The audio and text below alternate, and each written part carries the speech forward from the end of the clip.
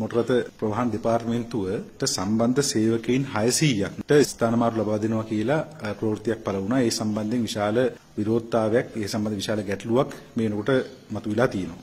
මේකට වුන් හේතු විදිහට ආණ්ඩුව ඉදිරිපත් කළ තියෙන්නේ මේ ආයතනයේ දිගින් දිගටම විශාල වංචා දූෂණ සිද්ධ වෙනවා. ඒ නිසා මේ වංචා දූෂණ වැළැක්වීමේ අරමුණෙන් තමයි මේ ක්‍රියාමාර්ගය ගත්තේ කියලා. බැලු බැලමට සාමාන්‍ය ජනතාවට මේක හැගෙන්නේ වංචා දූෂණ සිද්ධ වෙන ඔන්න ගෝඨාභය මහත්තයා දැන් තීරණයක් අරන් තියෙන්නේ 600ක්ම මාරු කරනවා. ඉන්න ඔක්කොම සේවකයෝ මාරු කරනවා. ඒ නිසා දැන් වැඩේ විසඳේ වගේ තමයි මේක පේන්නේ. නමුත් මේ පේන දෙයට එහා ගිය මේක ඇතුළාන්තය නැත්තම් මේක ඇතුළේ තියෙන හරය මීට හාත්පසින් වෙනස්. ඒ නිසා ඒ සම්බන්ධයෙන් ජනතාවට කරුණු ඉදිරිපත් කිරීමේ අරමුණින් තමයි මේ මාධ්‍ය හමු කැඳවුවේ. මේ ආණ්ඩුව කියන විදිහට වංචා දූෂණ වැළැක්වීමේ අරමුණින් නම් මේක කරන්නේ මේ වංචා දූෂණ සම්බන්ධ ප්‍රශ්නේ පැන නැගිලා තියෙන ආයතනේ මේක විතරක් නෙමෙයි.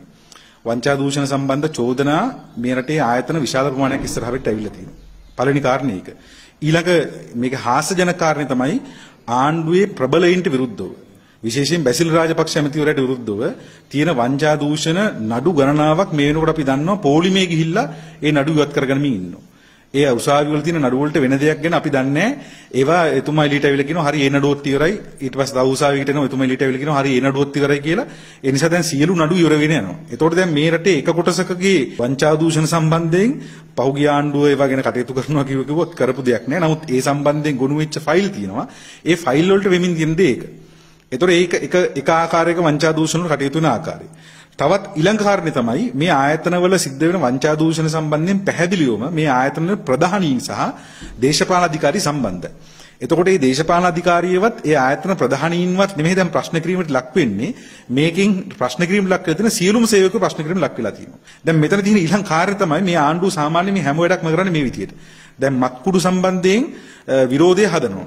මත්කුඩු සම්බන්ධයෙන් හදන විරෝධය සහ මත්කුඩු ජාවාරයෙන් වැළැක්වීම සඳහා ගත ක්‍රියාමාර්ග ගත යුතුයි. හැබැයි මත්කුඩු වලට මත්ජාවාරමට අපරාධ කරුවන්ට හදන විරෝධය පාවිච්චි කරන්නේ මොකටද? ඒක තමන්ගේ දේශපාලන බලවුමනාවන්ට පාවිච්චි කරනවා. ඒක බන්ධනාගාර තුල ඉන්නෝ නම් මරන්න ඕනෑ ඉන්නෝ නම් ඒ මරන්න ඕනෑ මැරීම සඳහා ඒක පාවිච්චි කරනවා. ඒ නිසා ඉස්සෙල්ලා එන්න ලේබල් එක. ඉස්සෙල්ලා ලේබල් එක ගහනවා ඊළඟට මරනවා. ඉස්සෙල්ලා ලේබල් එක ගහනවා දැන් මොකද්ද මෝටර රථ ප්‍රවාහන දෙපාර්තමේන්තුව මෝටර රථ කොමසාරිස් දෙපාර්තමේන්තුව කරන්න යන්නේ ඒ ආයතනයේ සම්පූර්ණයෙන් කොටස් කර විකිණීමේ සැලසුම් මේ ඉන්නේ. අපි පැහැදිලිව මේ කියනවා මේ ආයතනයේ කොටස් කර විකිණීමේ සැලසුම ඉන්නේ ඒ සඳහා තමයි දැන් මේ කොලේ ගහලා තියෙන්නේ. දැන් මේ කොලේට අනුව අනිත් පැත්තෙන් කොලයක් වදිනවා. ඒක ආණ්ඩු දන්නවා මේ පිටපතේ ඒකක් තියෙනවා. මොකද අනිත් පැත්තෙන් වදින කොලේ. දැන් මේක කියපු ගමන් සේවකයෝ 600ක් අයින් කරනවා කියපු ගමන් සාමාන්‍ය වෙන දේ තමයි සේවකයන්ගේ විරෝධය මේකට පැන නගිනවා. සේවකයන් විරෝධය අහන් පස්සේ ආණ්ඩුව මේ දෙකම අරගෙන එනවා ජනතාව ඉස්සරහට. මෙන්න අපි අ, මෝටර් දෙපාර්තමේන්තුව තියෙන වංචා දූෂණ නවත්තන්න හැදුවා. දැන් මේක නවත්තන්න බෑ. දැන් ඉතින් මේක නවත්තන්න බැරි නම් දැන් අපිට කරන්න තියෙන්නේ මේක ප්‍රයිවටයිස් කරන එක. ඒ නිසා මේක කෑල්ලෙන් කෑල්ල කෑල්ලෙන් කෑල්ල කඩලා විකිණීම සඳහා අවශ්‍ය කරන සැලසුම් තමයි මේ සකස් වෙමින් තියෙන්නේ. අපි ජනතාවටත් ඒ ආයතනයේ සේවකින්ටත් පැහැදිලිව මේක කියනවා මේ ඉන්නේ සැලැස්ම. ඇයි අපි එහෙම කියන්නේ? මේ වෙනකොටත් ඔබ දන්නවා 2009 සිට 2016 දක්වා මෙට්‍රොපොලිටන් කියන ආයතනය තමයි මේ අ, සමාගමේ තියෙන ඩ්‍රයිවිං ලයිසන් එක නිකුත් කිරීමේ ටෙන්ඩර් එක ගත්තා. ඊළඟට අපි වාහනයක් ලියාපදිංචි කරොත් එimhe නම්බර් ප්ලේට් එක දෙන්නේ දෙපාර්තමේන්තුව නෙමෙයි නම්බර් ප්ලේට් එක ගහන්නේ ඇක්සස් කම්පැනි. ඊළඟට එනවා ඊ මෝටරින් කියලා අ, සංකල්පයක් දැන් හඳුන්වා දීලා තියෙනවා මුලින්ම හමුදාවට හමුදාවෙන් පස්සේ මේ කියන පුජ්‍යලිකාංශයේද කියන ප්‍රශ්නේ අපි අහනවා. දැනට පැහැදිලිවම ඊ මෝටරින් කියන එක තව සංකල්පයක් විදිහට මේ ආයතනට ගෙනල්ලා තියෙනවා. මොකද්ද ඊ මෝටරින් කියලා කියන්නේ? අ, පුජ්‍යලික කම්පැනි එකක් කරා, පෞද්ගලික ආයතනයක් කරා ලයිසන් වාහන ලියාපදිංචිය. දැන් මම කලින් කිව්වේ වාහන තහඩු නිකුත් කිරීම සහ රියදුරු බලපත්‍රය. වාහන ලියාපදිංචිය තවමත් තියෙන්නේ මෝටර දෙපාර්තමේන්තුව සතුව.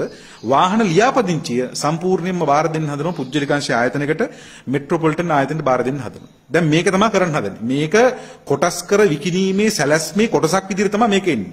ඒ නිසා මේ කොලේ ගහලා බලනවා සේවකයෝ ටික මෙතනින් එළියට දාලා මේ කෙලින්ම කම්පැනි එකට ගෙනියන්න පුළුවන්ද කියලා. ඒක අසාර්ථක වෙලා සේවකයෝ ටික ඉන්න සේවක විරෝධතාවය හරහා වෘත්ති සමිති ක්‍රියාමාර්ග වලින් හරි බලපෑමක් ආවොත් එහෙම ඒ මේ ගෙනාපුවර මේකට ගෙනාවනේ මතයක්? දැන් මෙතන හොරගම් කරනවා මෙතන වංචා දූෂණ සිද්ධ වෙනවා. ඒ නිසා මේ හොරු ටික අල්ලන්න ඕන වගේ කතාවක් ගෙනාවනේ. ඒ කතාව පාවිච්චි කරනවා ඊළඟ වැඩේට. මොකටද මේක ප්‍රයිවටයිස් කරන්නේ? ඒ නිසා මේ පිටපත ලියලා තියෙන්නේ බොහොම ලස්සනට පැහැදිලිව. මේ දේ අපි අපි හිතනවා මේ පිටපතේ කොටසක් කියලා ජනාධිපතිතුමා ජනවාරි මාසෙක කොහෙද ගියා? මේ ආයතන වල මේව පරීක්ෂා කරන්න. ඒකත් මේ පිටපතේ කොටසක් දිගට ප්‍රශ්න අද අපිට තියෙනවා.